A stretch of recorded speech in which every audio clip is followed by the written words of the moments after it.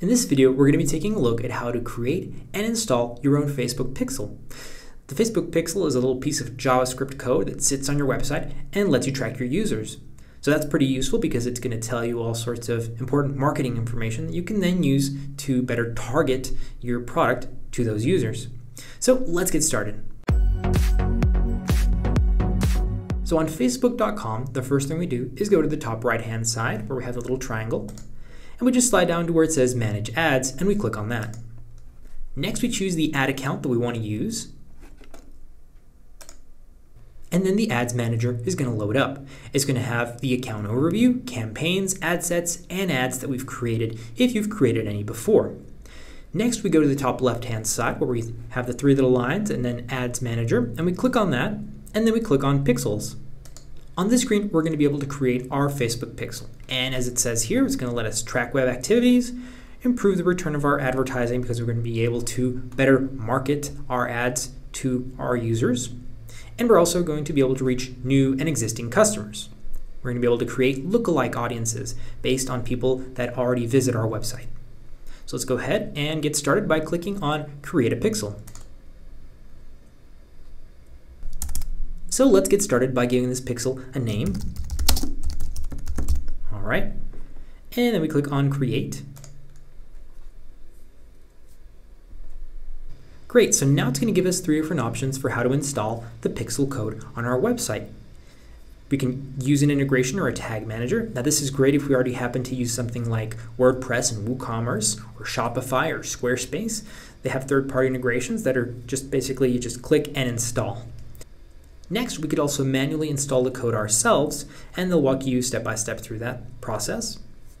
Or finally, you can also email the instructions to a developer if you happen to be working with a team or you happen to have a developer working with you, then they can do that for you.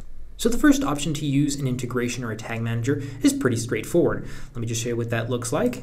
You just click on it and then choose one of the different uh, partners that they have an integration with. So the most common being, of course, WordPress and uh, WooCommerce. So we just click on that and then it's going to walk you through the steps of installing the extension and how to set it up. So it's pretty simple. Instead, we're going to take a look at the option to manually install the code yourself. To install the pixel code, you basically just have to find the head tags of your web page. So if you've ever used HTML before, you know what that looks like. And if not, you would just view the HTML code, and it's going to look a little something like this example here at the very beginning with doctype HTML. It's going to have some stuff here, and then you're just looking for the opening head uh, tag and the closing head tag, and you want to insert the pixel code right here. And what you're actually going to paste in there is this code right here, the one that says copy code to clipboard. And then once you've done that, you can actually send test traffic to your pixel just to check that it's working correctly. So then you would just enter the, the URL for your website here. It would uh, you would send test traffic, and then after a little while, it says here about 20 minutes, then you're going to see if there is activity being received from the pixel on Facebook, and that's how you know that you've installed it correctly. Next, we can add what events we're interested in tracking with the pixel. So here you can learn a little bit about what different things Facebook tracks. And here are the different events that you can track. Facebook also has the option to add custom events, but that's a little more advanced and beyond the scope of this video. So for example, you could track when a purchase is made, when a lead is generated, when you add something to an, a cart, when a user searches, or when a user views a specific piece of content. So for example, let's just try the view content one. It's going to give us different options here. So the first two options are to track the event on page load, and you can see that right here, or to track the event on inline action. So the first one is just what it sounds like. It's going to fire off that event whenever the page loads.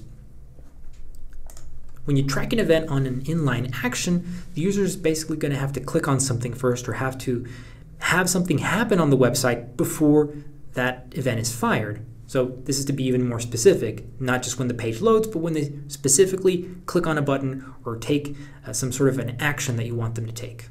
You can also have the event send dynamic data as well. So take, for example, adding an item to a cart. You can include the name of the item and the price as dynamic data.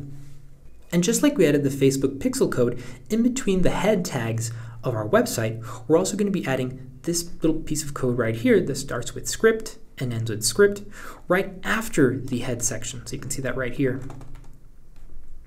Once you've added the little snippet of code to your website, you're going to be able to see if any activity has been sent from your website to Facebook. And if you want to double check that you've installed the Facebook Pixel or the event correctly, you can install the Facebook Pixel Helper, which is a Google Chrome extension. You can do that right here. So let's continue. Great. So once you've successfully installed the Facebook Pixel on your website and added the events that you want to track and configured those as well, you can go to Facebook Analytics and start to dive into the data and see what your users are doing and where they're coming from.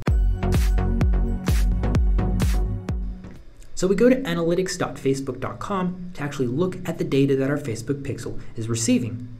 We click on Login, and then we select the analytics entity that we want to track. So for example, that would be down here where it says pixels. So we're going to be able to see all kinds of useful information, such as the new users and compared to the previous 28 days, the unique users, the retention rate, and the user activity for monthly, weekly, and daily users.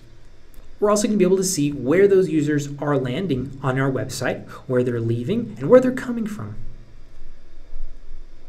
And on the left-hand side, we have all the different ways to filter the data. For example, you can view the active users, the revenue, the funnels, all sorts of different things, and demographic information as well. Great, so now that we're getting all this useful information about what our users are doing on our website, where they're coming from, and who they are, we can use that to better target our ads. So let me show you what that actually looks like. So one of the ways you can use this information is when you're creating a new ad and you get to the audience section like we are right here, and you get to the custom audiences section, you can click on create new, custom audience, and then we can use website traffic. So this is going to create a list of people who have visited our website before, or we can even target them based on the specific actions that they took on our website and that we tracked thanks to the Facebook Pixel. So here we can create a custom audience based on people who've taken a specific action or gone to a specific page of our website.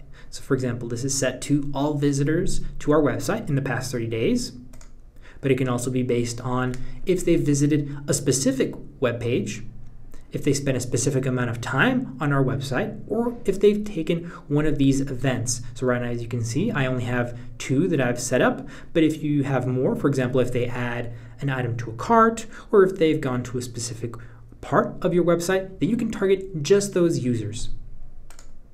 And then you can also give your audience a name, save it, and then use it for future ad campaigns. One of the other great ways to take advantage of the Facebook Pixel is when you boost a post. So for example, if I click on Boost Post, it's going to create an ad for me. And on the left-hand side here, where it says tracking conversions, it's going to let me use the Facebook Pixel to track how effective my ad is. So then I can see if it's performing well, poorly, and then I can modify it and make it better. So that's how easy it is to create your own Facebook Pixel, install it on your website, and then use Facebook Analytics to track users, better your product, and create more specific, better targeted ads.